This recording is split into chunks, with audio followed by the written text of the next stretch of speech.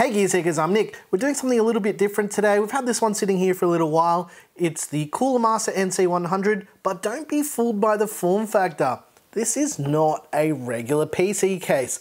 This is an Intel NUC case. So it, it uses one of those Intel compute elements. We actually did a whole video with the Ghost Canyon NUC last year, and I'll put that in the top right hand corner. But this is a case designed to allow you to install much bigger GPUs so let's do something different. Let's do a build in it and we're gonna talk about all the things regarding this case. But first we need to pull it apart. Yeah. Is that right, Claire? Yep. Okay, roll the intro.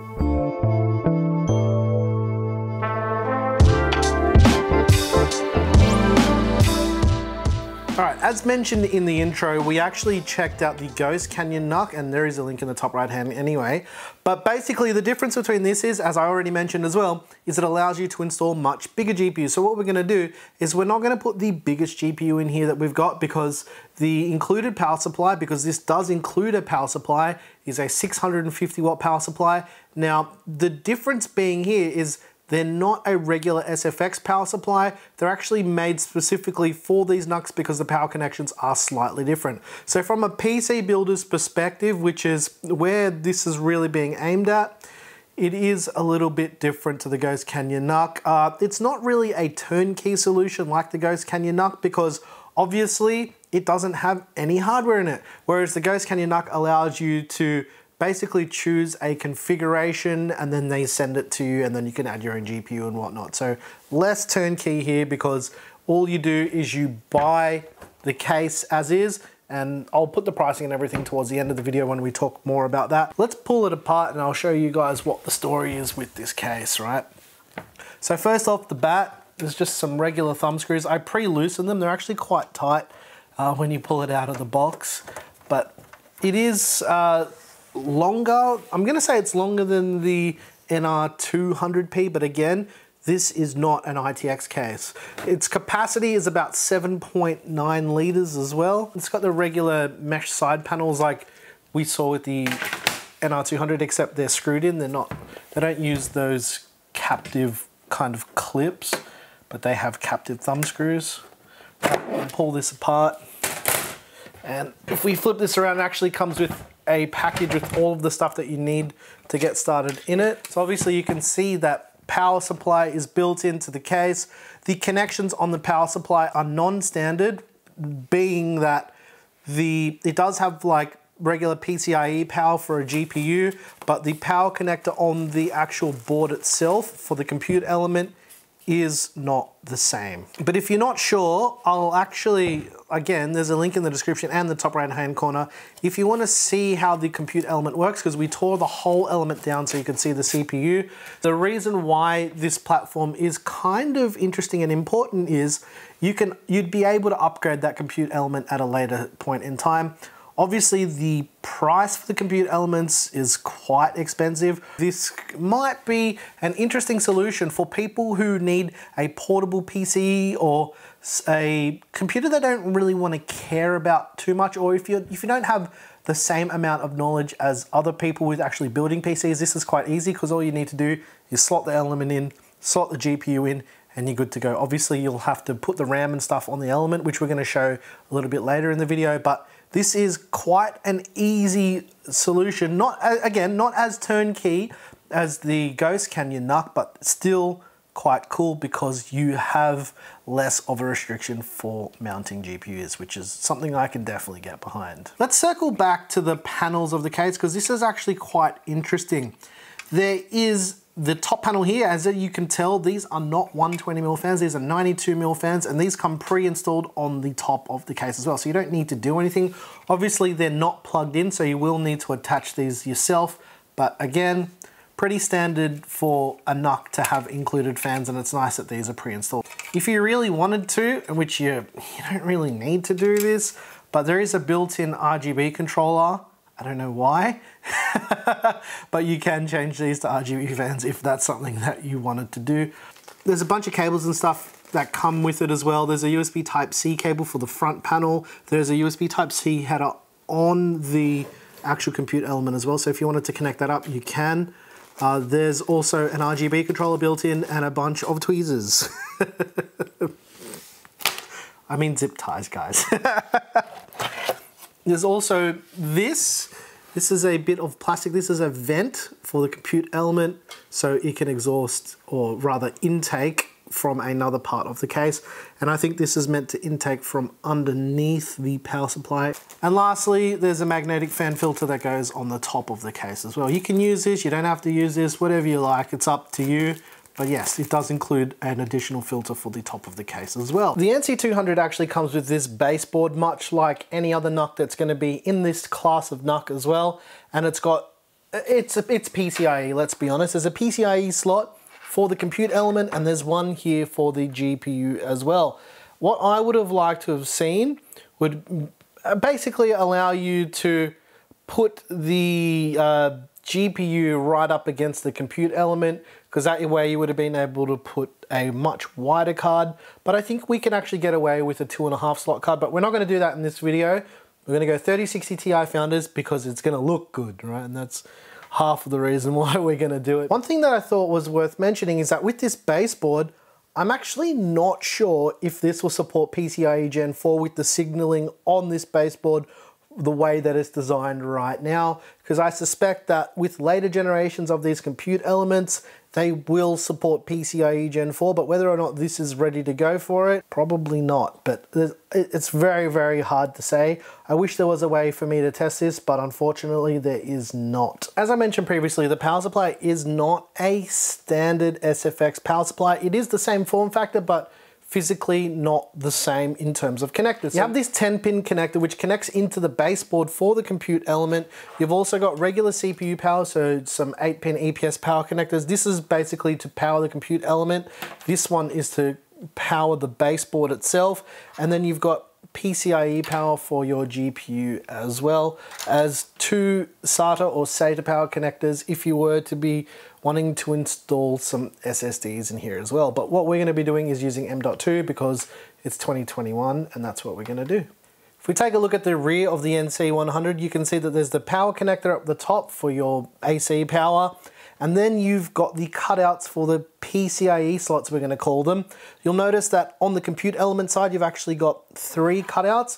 This basically tells me that the plan is that Intel will eventually release some compute elements that will be wider with much more powerful CPUs. Hopefully we get some of that interesting new 11th gen stuff in a compute element form because that'd be quite nice because I think they've currently stopped that 9th gen stuff so that's what we're going to be covering in this video. I know it's old guys but there's physically nothing newer that we can use with this and that's all we could get our hands on anyway. As well as that, there's two slot covers for a GPU, but this looks like we can almost do a three slot if you wanted to put it all the way up against the edge of the case, but I would say two and a half slot is probably going to be what you'd want to go with. As I mentioned, you do have quite a lot of space for GPU length and the maximum clearance you're looking at is around about 320 millimeters. So a lot of GPUs will fit in here quite easily. Okay, I think that's basically all the stuff I wanted to talk about regarding the NC100 as is, as it is kind of designed and made and whatnot. So I think it's time to do a build, which is such a weird thing to say with the NUC, but let's do a build, let's test it, let's do all the thermals, let's do everything else, and then we'll chat about all the configuration everything uh, later on in the video. So this video might go for a long time, I don't know yet, but stick around because this may or may not get interesting. And I'm gonna guess that this is gonna get pretty interesting.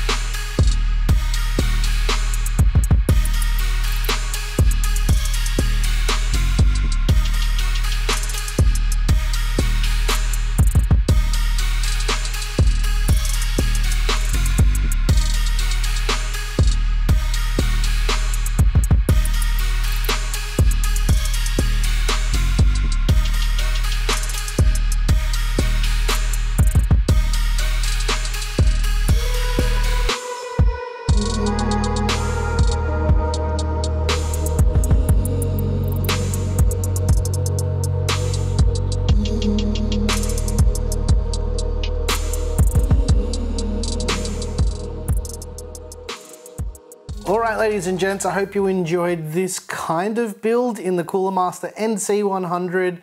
Uh, let's quickly take a look at the thermals before we chat about all of the hardware that's in here. As you're seeing on screen right now, as expected, it gets very, very hot. And that's mainly to do with the compute element. They just get hot because essentially it's a laptop CPU in this. So yeah, uh, there's not that much cooling. There's basically a blower style cooler with that vent that comes up from the bottom of the case that you saw through the build section of the video. But the GPU thermals are about what you would expect from a 3060 Ti Founders Edition anyway. So overall, not too bad. Because this is kind of a build and there is hardware that can be changed, even though it's basically a souped up laptop. the Intel compute element we're using is using the Intel Core i7 9750H. It's a 6 core 12 threaded CPU and can be found in many, many laptops as well. For RAM, there's 32 gigs of RAM. We we couldn't quite max the RAM up because we didn't have any. We had 32 gigs to go in there and the RAM is at 2666 because that's all you can use with these compute elements. There's 32 gigs of crucial memory at 2666 megahertz. For storage, we went with two one terabyte FireCuda 510 drives from Seagate. The reason why I threw two drives in is because as you're about to see in some benchmarks a little bit later, well, coming up soon rather, we actually did some Windows and Linux testing, so I wanted to install one operating system per drive just to make my life a little bit easier for doing all of that testing. So yeah, there's two drives in total. That's basically it for the specs of this NC100 system that we put together, but let's check out all of those benchmarks.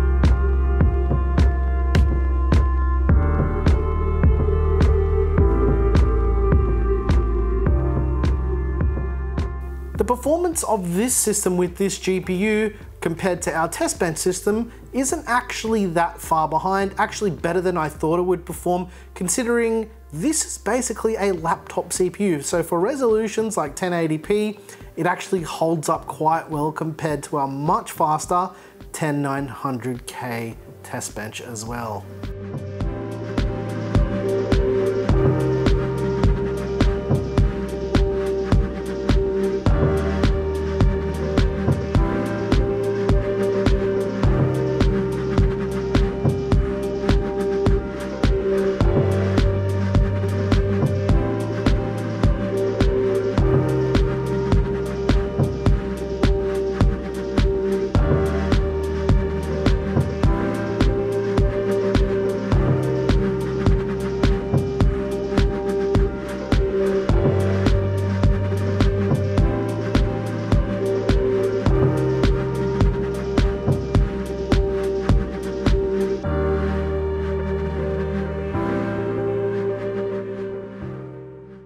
If we look at the CPU results in Cinebench, you can see that the results aren't amazing. They're basically what you'd expect from this in a laptop as well. So yeah, we didn't see anything that much higher. And with the thermal testing, if we just quickly chat about that as well, we didn't see any CPU throttling at all, even though the thermal temperatures were quite high with this system. So overall, actually not too bad at all. That's basically it with all the testing for the NC100 system. If you want to know how much this thing costs, well, just the case, remember, it's just an enclosure, it's none of the hardware. Just for the case, you're looking at about 199 US dollars or around 299 Australian dollars at the time of filming this video. I think they're trying to justify the price because of the baseboard and the power supply because these power supplies at this size can get quite expensive. So Overall, if you're thinking about this in a small form factor sense, It's actually a fairly okay price for a small form factor case. However, this product is quite niche and if you were to actually build a system with compute element in this type of configuration, the price of entry is probably somewhere around the 2000 US dollar mark. It's basically a very, very, very expensive high performance laptop. And the compute element in this one isn't the only one you can get as well. There's an i5 version, an i7 version, there's an i9 version, and I also think there's a Xeon version as well for a workstation. I mean, it's pretty interesting. As I talked about in our original Ghost Canyon video, which I've probably said like 500 times in this video, the technology and the idea is really, really cool. The price of entry is just a little bit too high, I think.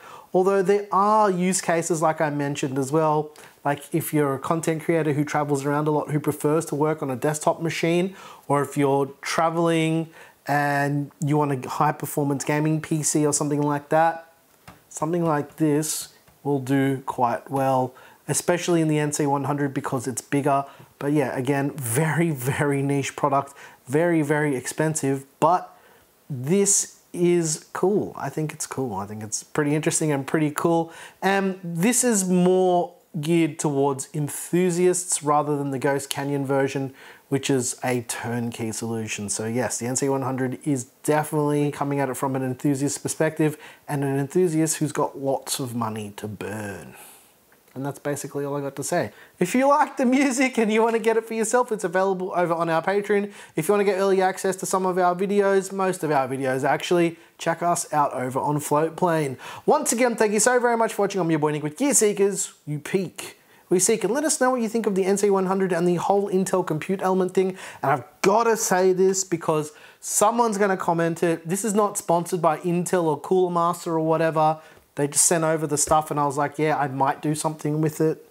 And yeah, I actually wanted to check it out because it's been sitting in my office, kind of burning a hole on the floor in my office. And I'm like, I should probably look at this thing because I did, I did think the original compute element stuff with the Ghost Canyon was interesting, but I wanted to see what it was like in a slightly different form factor. And I still think it's pretty cool, but it's very, very expensive. Thanks for watching.